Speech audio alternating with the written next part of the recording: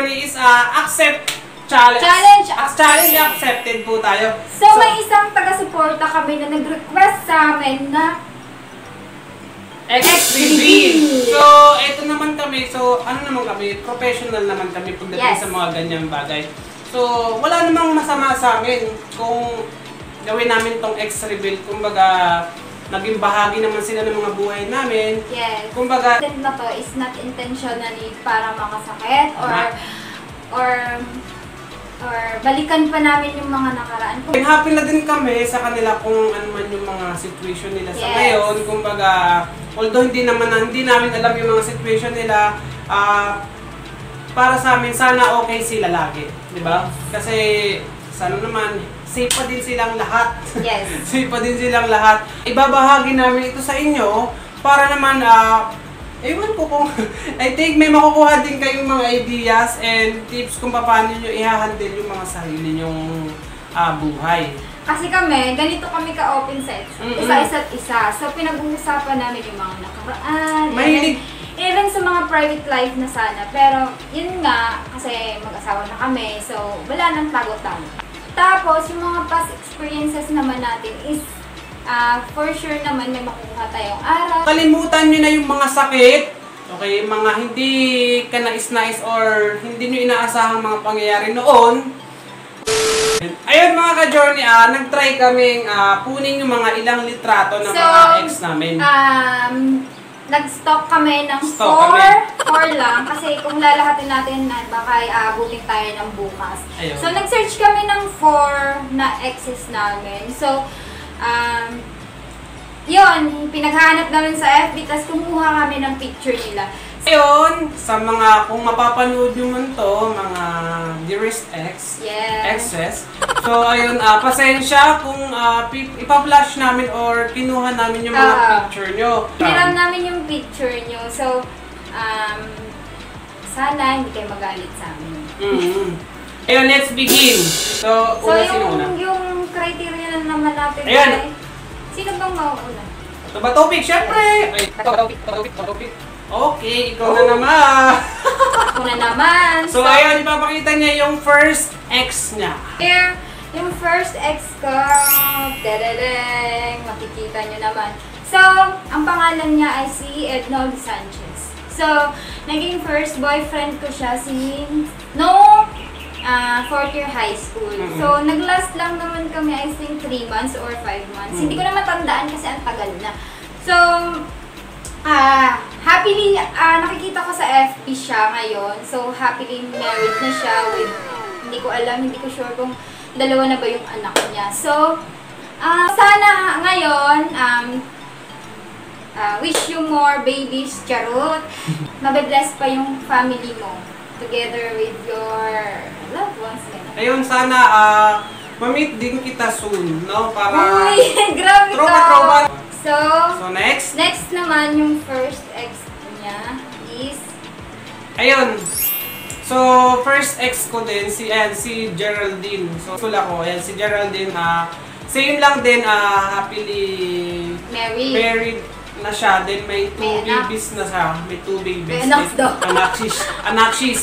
So, may two babies na siya. And Two then? babies talaga. So, ayun. Ay, Geraldine. Ayun, sa I hope Geraldine Ay, Geraldine ba? Geraldine. Geraldine Villanueva. Okay. So, I hope, Geraldine, ah, masaya ka sa pamilya mo ngayon. Ah, lagi mong iingatan yung mga baby mo, palakihin mo ng ayos. Then, lagi kayong magdasal para lagi kayong safe. Yes. Ayun lang. Okay. The next one for me Yan, next. is here. So, si Malvin Rubato. Hi! So, alam ko, ah, successful ka na sa buhay mo ngayon. So, God bless you more and um, nag-last lang yung relationship namin. I think 3 months or 5 months. So, wala na akong masasabi kasi natupad mo na yung pangarap mo na sinasabi mo dati sa akin. Hmm. So, God bless and stay safe. Sa- Ah, ingat ka na lang din lagi dyan, Pard. So, keep safe. yes. So, na tayo sa next mong ex. Ayun, si Okay, si Maylin Ibasco. Hi, Okay. Mylene! So, same lang din. ah, taga sa amin siya eh. Ah, So, parang ilang months din lang kami. 3 months lang din na kami ni Maylin. So, si Maylin, ah, same lang din. Happily married na siya. Ah, may isang anak. And I hope, ah, ingat kayo lagi ng asawa mo. Sa- I hope madagdagan pa yung anak mo. Yun, ah, kung nagtatrabaho kayo, kung nan- saan man kayo ngayon, ah, lagi kayo mag-iingat. yes. No? Then always pray din para din sa kapakanan ng inyong pamilya. Next! Dumako na tayo sa third ex ko. Third, ah, hindi naman third. Kasi random pick lang naman to eh. Ah, Hi, Miko Katindig. So, siya, nag-last yung relationship namin, I think 8 months. 8 Mm, months. Oo, din. 8 months. Sobrang bait ng mother niya kasi first time ko yung pakilala sa family. Eh. Mm. Yun. I think 2016 yun.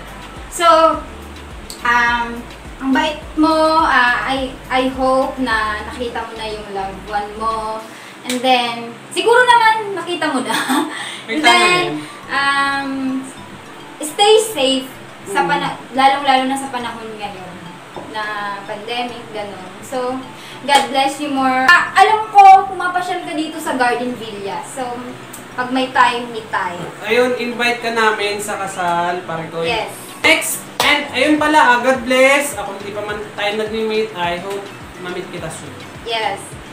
So, the next mo I see... Tcharan! Ah, si, oh yun, si Christine Lutino. So, Hi, ayan. Christine! So, nag-last yung relationship namin, I think, mga one year and nine months. So, Oh, ang fourth year- tagal! Fourth year high school ako hanggang first year college. Ayan. So, Papi Pope, ah, okay ka ngayon. Then, ay, alam ko na isa ka ng huwarang guro ngayon. Teacher na siya eh. Oo, May teacher siya. sila? Hindi ko alam kung may asawa na siya or may, boy, may boyfriend. Pero ang ayon, ituloy mo yung pagiging isang guro. I hope marami kang matulungang mga kabataan. I hope maging masaya ka, then laging ligtas kayo, then God bless. Yes. Ito na yung pinakahuling na pick ko kasi ah, sa previous vlog namin is alam ko na topic namin to. So, Mhm. nire-reveal na din namin. Mhm. So, ito yung siya. Tadam! So, ayun, hindi siya. Hindi, So, nagkaroon ako ng relationship na straight lesbian. ayun. So, mm, nag-last yung relationship namin ng two years and then, Tagal din, yes, and then, um, hi Christine Orcars, I hope okay ka ngayon and then, God bless you more and then, um, stay happy with your family, stay stay happy with your present ngayon kasi alam ko may may jowa ka na. And then, um, pagpatuloy mo lang yung ano, yung pagiging hardworking mo sa trabaho. I hope na ah, mas may marating ka pa sa buhay mo ngayon. And then, yun lang. I hope na lagi ka mag-iingat kung ano mang mangyari sa buhay mo.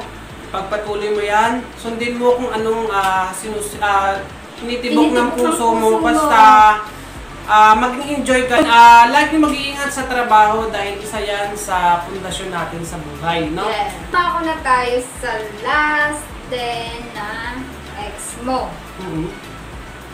Tadam! So, ayan, siya yung pinakang last na girlfriend ko.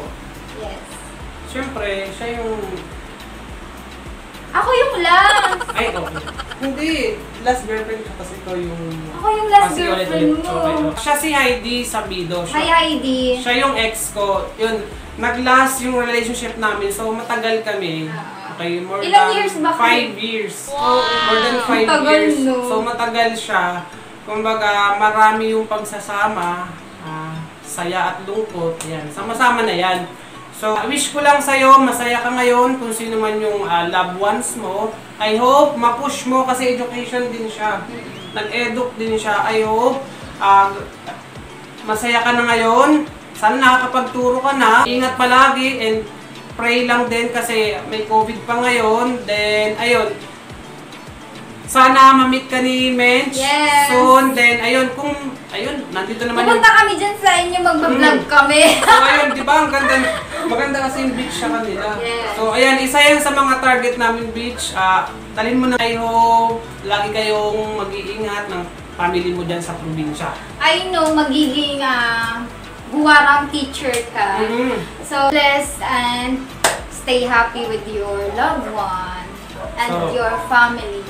Ayun. So, ayun mga ka-journey, ah, napaka, naman mahirap para sa amin. Yes. Kumbaga, napaka bukal sa puso. Bukal sa, alam nyo guys, kasi um, inaano namin po kasi ah, bago kami mag, ah, mag-content nito, sinas, parang inaano namin sa sarili at puso namin na kaya na namin ilabas. I-handle yung yes, mga sarili i-handle yung namin. mga sarili namin pagdating sa mga ganyang bagay. Kasi Mm. tumatanda na tayo, so dapat magiging mature na yung isip natin. Ayun, ah, to be honest, nung una-una, nung una-una namin, Pinag-aaway namin. nag-aaway talaga kami, nag-aaway kami. Hindi, hindi naman malalang away, kumbaga tampuhan lang.